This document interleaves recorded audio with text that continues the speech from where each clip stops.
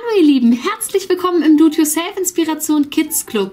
Ich hatte euch ja versprochen, dass ich ein neues Video drehe, wenn meine Kresse rausgewachsen ist. Ich habe ja vor einigen Tagen euch gezeigt, wie man Kresse in ein Ei reinpflanzen kann.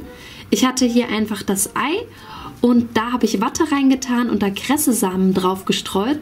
Und schaut mal, wie schön das schon rausgewachsen ist.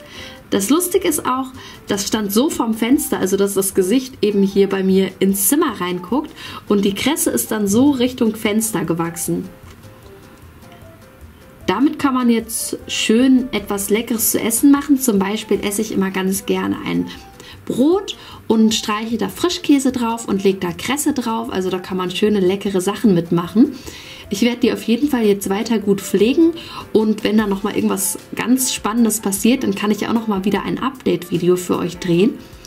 So wollte ich es euch erstmal zeigen. Mein kleines Kressemännchen hat jetzt schon Haare bekommen. Ich finde, das sieht total niedlich und total schön aus. Und das Praktische ist, das ging wirklich richtig schnell. Ich habe einfach jeden Tag darauf geachtet, dass das schön feucht war, also immer ein bisschen Wasser nachgekippt. Und schon nach wirklich zwei Tag oder nach einem Tag sah man schon, dass die Samen so ein bisschen aus, äh, aussprießen. Und nach zwei bis drei Tagen sind die schon richtig schön hochgewachsen.